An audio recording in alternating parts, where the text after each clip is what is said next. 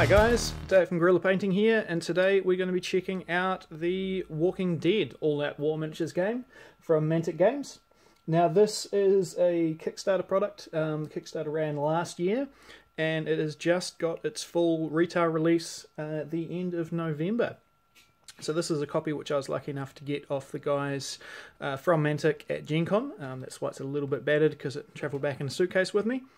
Um, but yeah, it's a it's a really cool game. I had a great great time um, playing some demos over there with uh, Ronnie and the other guys from Mantic. Um, gameplay's fantastic, and the miniatures and stuff look really good. So as you can see straight off from the box, it is based on the comic, not on the TV series. So there's a few um, characters who you you won't see um, appearing, uh, such as Daryl, for instance, is one of the uh, TV show favorites.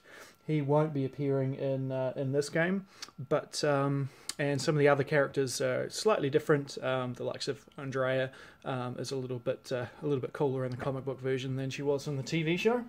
So you got some cool artwork on the front. You got a nice little window here which shows off a few of the miniatures in there. So pop it open.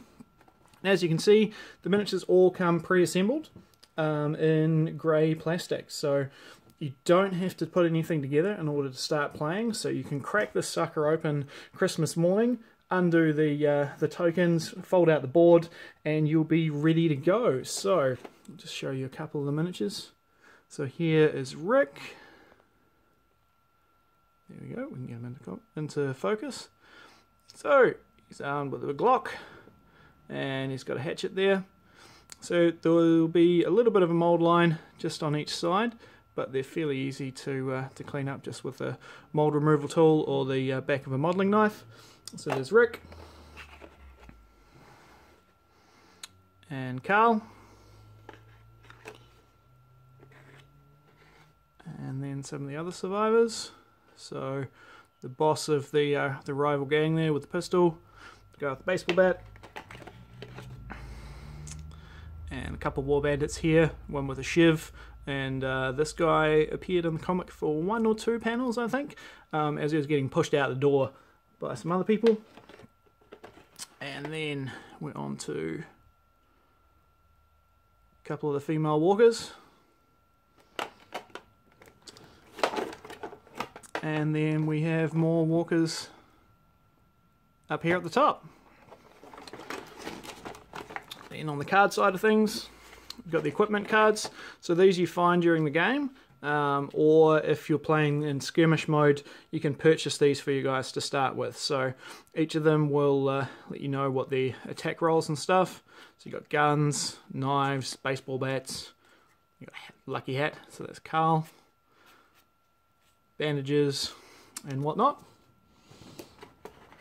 And then these are your supply cards. So these are what you're trying to find during the game.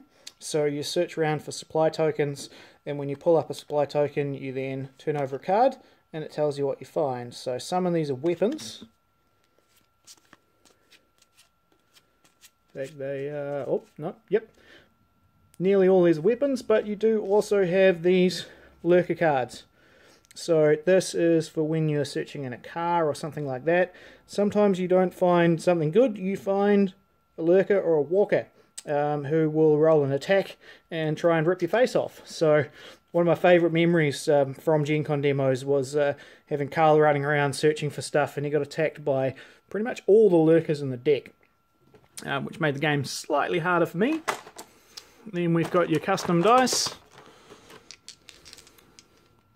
So depending on the strength of the attack, you'll use a white dice, a red dice, or the blue dice, which I believe is the most powerful one. It's got more crits and stuff.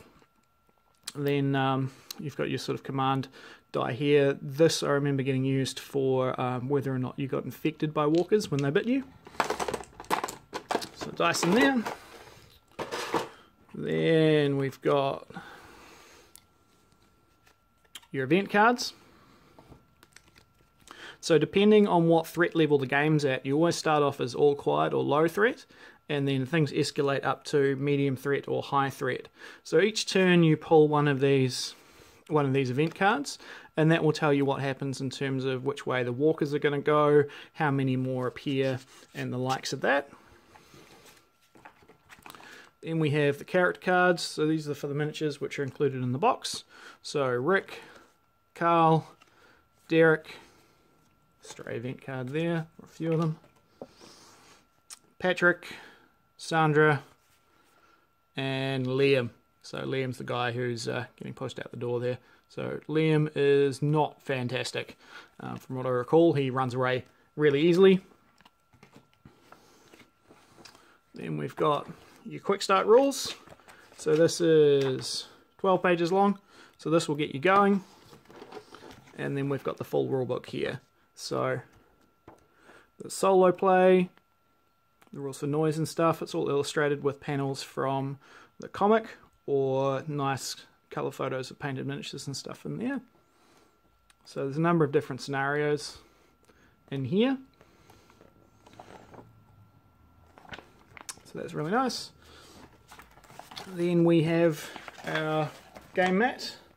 So this is just a single-sided paper mat. It's 20 inches by 20 inches, but it's painted with some, sorry, printed, not painted, with some uh, some really nice street detail here um, and trash and stuff like that.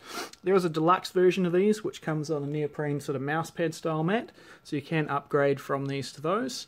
And then each of the expansions um, for the game, um, which continue along the storyline of the comics, each come with their own mat, so you can expand out to a large area of mat. Then we've got our tokens. So we've got the RV, we've got these uh, supply tokens and stuff. The uh, threat tracker here, which is also, oh no, here we go.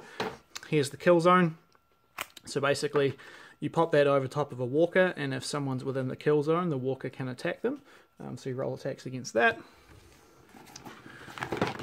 And then we've got more tokens. These are your health tokens and barricades. So your terrain, so these are your ruined cars to go with your barricades as well. and some more. And then you've got a nice little pamphlet showing you how the boosters work.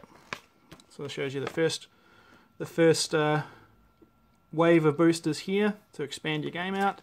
Um, and also lets you collect your Mantic points there. So as far as the starter set goes, this has got what you need to start playing uh, with two players with a, um, a, selection of the characters from the game. Um, and a bunch of walkers and stuff like that. So it's all printed on nice card.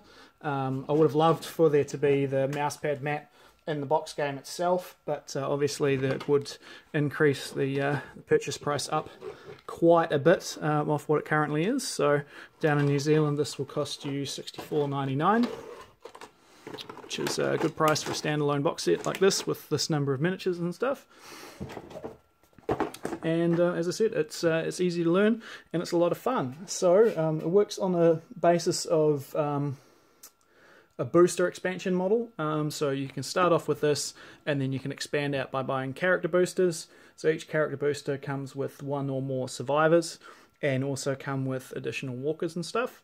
Um, and the boosters come with new equipment cards, new character cards, and stuff. So you can uh, you can expand out your collection. You can pick certain characters if you're wanting to do a, a Negan themed force, for instance. When, once those expansions come out, you can purchase the guys to make your saviors.